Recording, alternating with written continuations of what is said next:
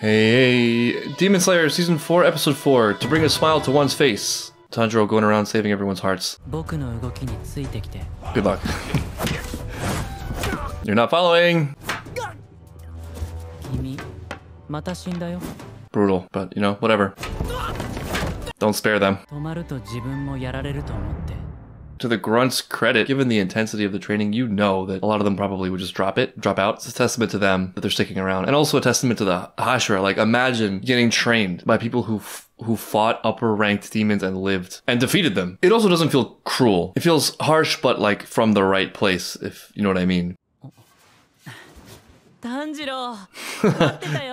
wow, that super stimulus smile. 今日から稽古よろしくお願いします No, Tanjiro, it is you that will train me. 炭治郎 Uh, okay, yeah. He looks great after season three, after all those memories.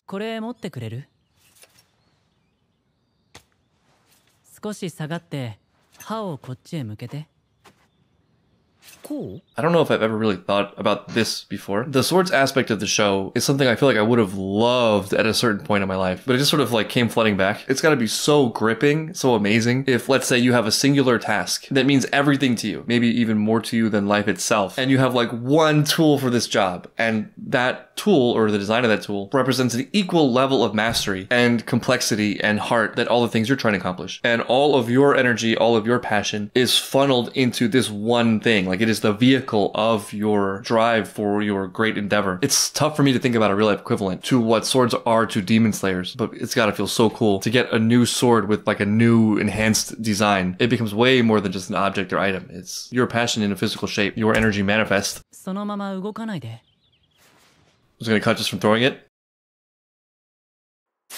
That's amazing accuracy too. That is pretty sharp. ど It's sharp. It will cut. What amazing honor it would be too for any one of these swordsmith う village 戦 people いに to 向け develop the sword that いつ kills も Muzan. 刀を最高の状態にしておきたい Unfair. そう申し出たら親方様から僕の思うようにしたらいいと自身のお体にこそ気を使っていただきたいのに The master has a vision bigger than himself in his own life. He won't be around to see it, but it means that much to him. Like it, it doesn't have much left, but he's giving all of it.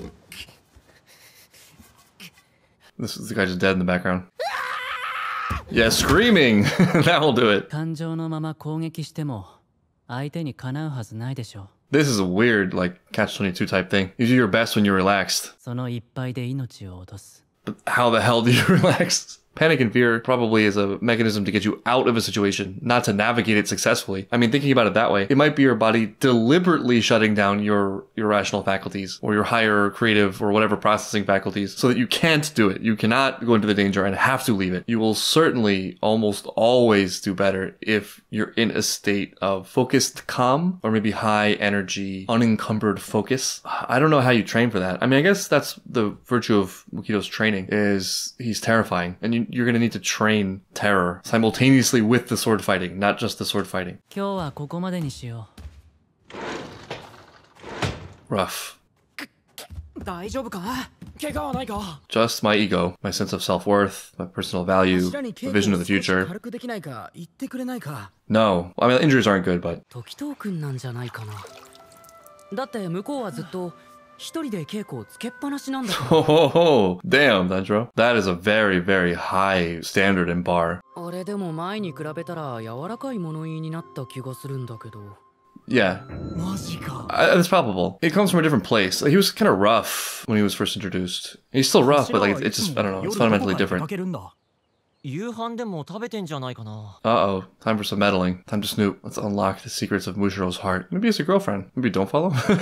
Nobody gets privacy around here if Tanjiro has anything to say about it. Mukido also has it really hard because he's responsible for their survival. He knows things they, they can't possibly understand. He doesn't enjoy beating the hell out of them. He has to because he cares and he knows what they're facing. And it's probably the right approach. I mean, I think given situations where your emotions typically take control, you have two options, I guess. One is you learn how to control your emotions, which to me is Definitely the more difficult. Good luck with that. I mean, there are ways. I think the overarching strategy there is pushing the barrier of your awareness of your own thoughts through things like meditation, just like observing yourself and what you're thinking, observing your emotions to create a little bit of a gap or barrier between impulse and knee jerk reaction, developing that maximal amount of choice, to which I think there maybe is no limit. It's kind of intimidating to think about how deep that can go. Fundamentally, though, I think it's nearly impossible to like not have the emotion. So I think the other more practical approach is to develop your ability and skills so that you at least have something to work with, something to focus on, something to believe in, something else to kick in, that is also something more actionable to practice. Especially for things like this or life or death, like, you know, fighting an upper rank demon or, or any demon. You don't have as many chances to sit around training your emotional responses to demons because that involves putting yourself in the life or death, game over event scenario. You can practice your fighting skills. You can train your endurance, your physical power. In any given situation or field, a lot of times the most critical moments are ones that are not really solvable without some kind of skill development prior to the event. I think everyone knows the feeling of suddenly being in an anticipated situation and having this moment of, I wish I had trained harder for this. I wish I had been more prepared for this. It's really easy to put off that critical moment in your imagination. I have plenty of time, etc. And then suddenly it's in front of you and the outcome will be determined not by some intrinsic quality of yourself, how good you are or whatever, your value as a human being or how much you want it, but by how much you prepared for it beforehand. Some people wait a little bit too late.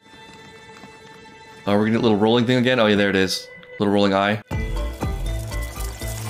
Little rolling eyes. All the power of CG. Maybe this won't just be a journey into the heart after all. It'd be great if we could kill a demon, upper rank demon, in the midst of our training, while training. 風の呼吸死の型少女殺人乱 Something so cool about the way they animate this guy, even in its simplicity. And both of them, they work so well together. 大使たちは稽古になってるかもしれないけど僕には十分じゃなくてまあな that's a good point. Yeah, it almost feels like it's such a binary thing. The gap is so large between the Hashira and Tanjiro and the grunts. You almost want to abandon the grunts completely. The Hashira should just do everything they can to get better themselves. It's like that, huh? We'll find out. He's the youngest, isn't he?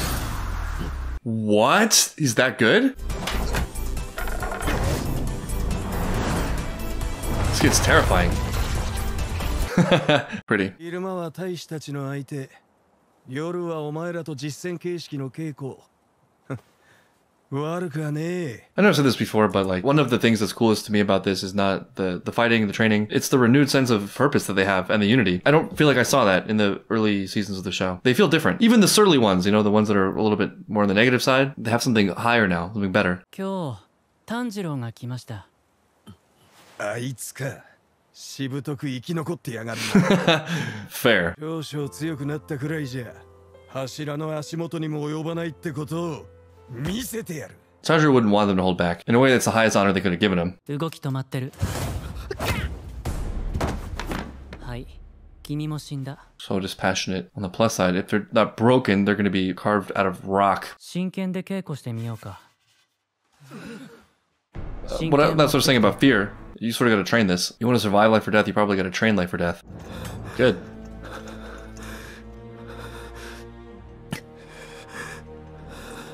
I mean, he's just gonna Kenshin him anyway. I mean, this is already the exercise. so don't, don't, don't. Let it happen. This needed to happen. 戦いの厳しさが理解できてるはずもないってそれに柱が毎晩どこかへ行かれて Okay. 君たちなりにはよくやってるよでもだからって 勝てるわけじゃない。僕は君たちに鬼に殺されてほしくはない。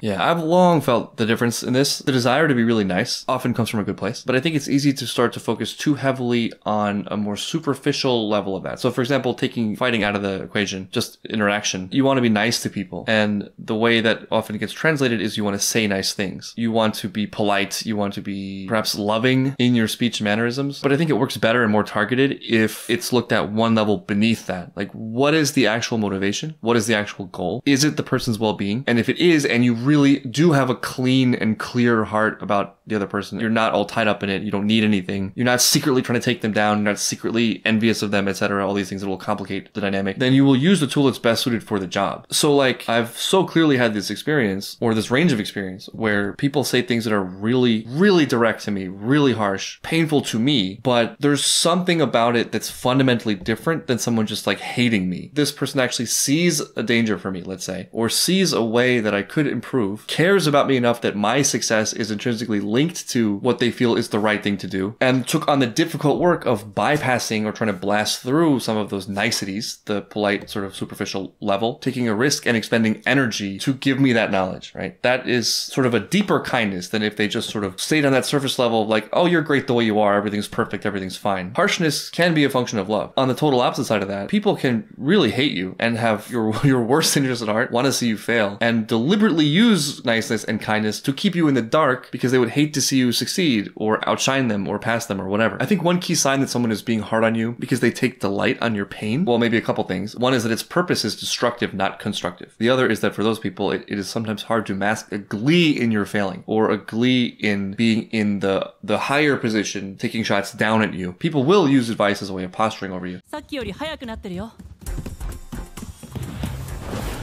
That was the slowest running animation I've seen in the show so far.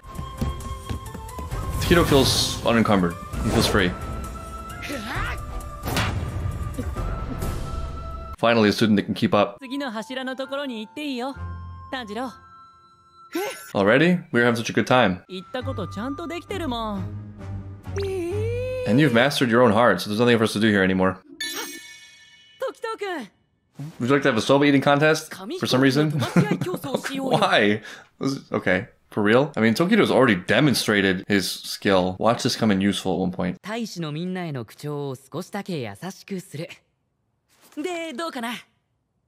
No. well, he'll just win. I would prefer, well, easy for me to say this. I would prefer a teacher like Tokito. Though I would hate to have a teacher like Tokito at the same time. Ah. Wow, he really stacked his own odds. Tsukiro just accepting his game. Watch it just hit the floor. Isn't just isn't the why is the nose pointing down? Ah, That's did better than I thought. Please, we need him to be nice to us. Our frail dispositions and sensibilities. Is it the same airplane every time? Humiliating. I guess this is a bonding experience. What if somebody... We have a lot of paper airplane experts in the crowd for some reason. Wow. Life in the feudal era was boring, huh? Not like our lives where we have Instagram.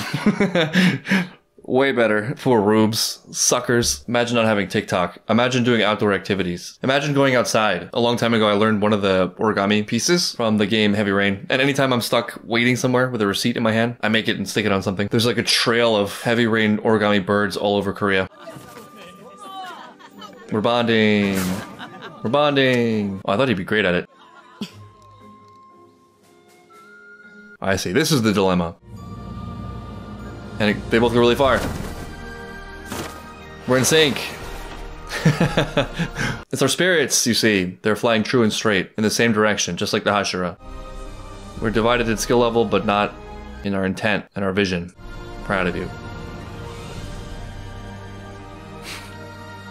These over overjoyed, abundantly happy faces. It's like watching a Pixar movie. They crushed that challenge. 禰豆子と離れることは心配だったけど一緒に任務に出たらそれこそ向こうの思うツボだし危険す But ぎ if る you leave her, it's a single point of attack. I like how she can talk now, but she still doesn't have any lines. She's just a sleepy, sleepy girl. 今禰豆子には俺がとても信頼する人が一緒にいてくれてるからね It's tough, man. I don't know if I didn't let Nezuko out of my sight. After all, they have eyes everywhere. 鬼物児を倒そう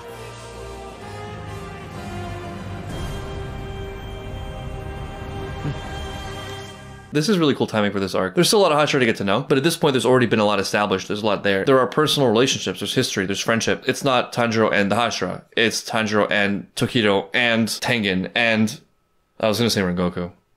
The love Hashira. I still think that Muzan in a way is making a mistake and being arrogant by overly focusing on Nezuko, not continuing to create havoc. This opportunity of this combined spirit and overwhelming purpose and unity seems to be partly a function of Muzan's inaction.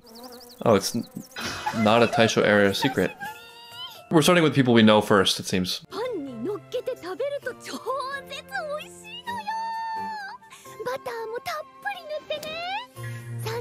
This is the best training ever. This is so different. Such a welcome change. This is my favorite training episode so far, and it hasn't begun yet. That also is two in a row, right? Of becoming the person that protected you or saved you. Come to think of it, Tokito maybe did on his own what we saw Giyu do last episode, where like the pain of someone else's sacrifice became the fuel, the motivation, but it was sort of incomplete because of the great distress that it caused, the weight on their shoulders. The realization and growth from that being you keep the gifts but resolve the internal distress, agony. You don't forget the legacy, it's still very much a part of you, but it becomes something beautiful, bittersweet at least, as opposed to this dark cloud that follows you everywhere. In ways I can't explain, Tokito's overwhelming power feels connected to his freedom, his emotional freedom. Speaking of the best state not being panic, but relaxation or heightened focus or both. That seems to be him in a nutshell. He's very deliberate, very focused, very relaxed. There's no wasted energy, there's no mental drain, there are no other channels demanding attention. Tokido aside, I think the overall beauty of this episode is the clear and unified purpose and focus of everyone involved in the training. It's getting me excited to imagine in the future a battle where all the, the Hashira and maybe all the grunts, no longer grunts, are standing on the same battlefield.